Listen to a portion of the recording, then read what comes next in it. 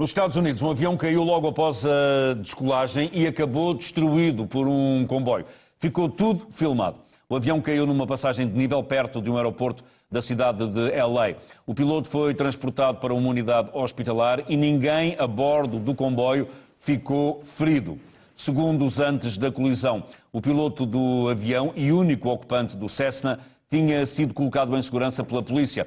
Estas são imagens de uma câmara corporal de um dos polícias envolvidos na missão de resgate. As câmaras corporais dos polícias foram recentemente aprovadas em Portugal.